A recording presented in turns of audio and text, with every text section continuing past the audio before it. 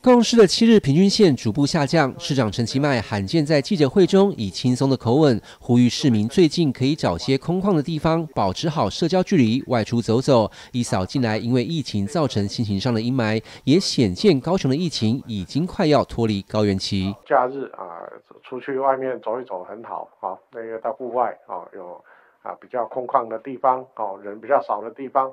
来从事啊这个活动或者是运动。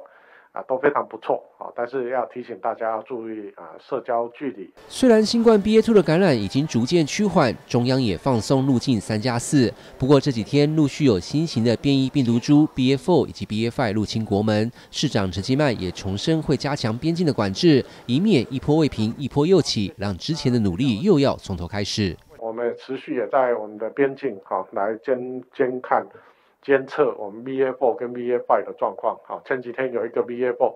那在今天，好，中央有公布一个 VA5，好，所以这个部分还是要提醒大家，好，不要。啊，跟大家讲的哈，一波未平，一波又起。而在高雄市目前的确诊病例中，之前都是以活动力高的年轻族群盛行率较高。不过，随着盛行率逐渐达到一定的比例之后，现在低于平均值的高龄长辈盛行率也开始拉升。家中有长辈的民众，接下来要特别注意。从啊这个礼拜开始，我们注意到说，在两个年龄别，哦，比较比较年纪轻的小朋友。年纪大的啊，我们的这个长辈，好也慢慢的高啊，这个很这个是很必然的一个现象，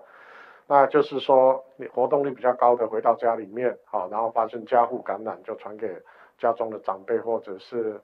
啊，幼童哦，所以造成其他的这些感染。针对小朋友和高龄长辈，大型的疫苗接种站还是会持续。周六、周日都有莫德纳疫苗的施打，五到十一岁的小朋友还开放随到随打，请市民充分利用。记者张佩高雄报道。